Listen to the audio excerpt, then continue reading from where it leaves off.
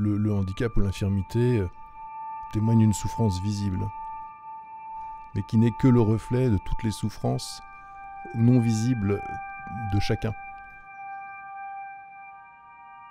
Quand on est à Lourdes, on peut se montrer tel qu'on est vraiment, avec euh, sa grandeur et sa faiblesse. Je vous salue Marie, pleine de grâce. Le Seigneur est avec vous.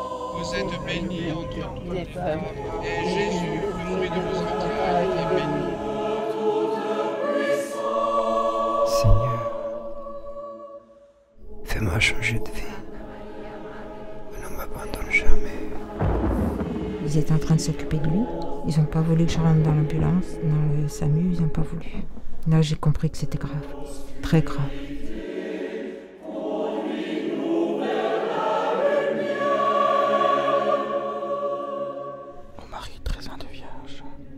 Agora a voz